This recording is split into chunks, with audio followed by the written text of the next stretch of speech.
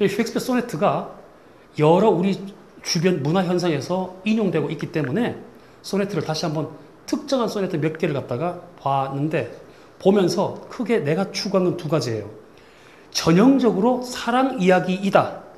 라는 그 틀에 의거하면은 같은 사랑이라는 하는 걸 놓고도 이 사람이 세월을 흘러가면서 세상을 보는 느낌, 어떤 세상을 갖다가 느끼고 변화되어가는 그런 어떤 심경, 그걸 어떻게 담았을까?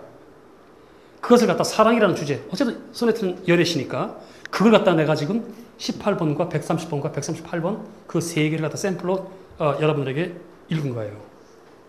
제일 처음에 가장 내가 그래서 아까 18번을 읽으면서 가장 유명하고 가장 많이 인용되는 시지만 혹시 이 시가 셰익스피어가 언제쯤에 쓰여진 것 같은가? 내가 볼 때는 이건 초창기일 것이다. 물론 나도 오류가 있을 수 있지.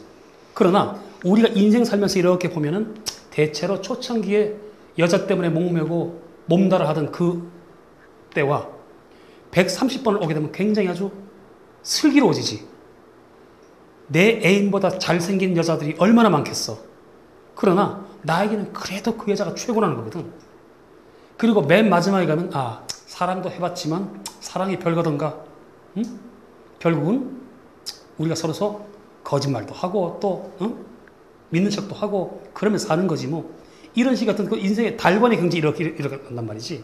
어떤 사랑의 어떤 주제에 관한 것과 또 하나는 가장 그 뭐 대표적인 예지만 예지만 이것이 셰익스피어 소네트가 그냥 막연히 사랑 노름으로 일관하는 시는 아니다. 이 안에 셰익스피어 소네트를 가지고도 문학 비평에 대한 이야기를 할 수 있다라고 하는 것을 갖다가 여러분들에게 지금 내가 한 것이에요. 과연 셰익스피어가 과연 자기 극을 갖다가 이걸 의도하고 썼겠는가? 응? 아닐 것이다 말이지. 다만 뒤에 남겨진 사람들이 괜히 의미를 부여하려고 이것저것 말을 갖다 붙이는 거거든. 응?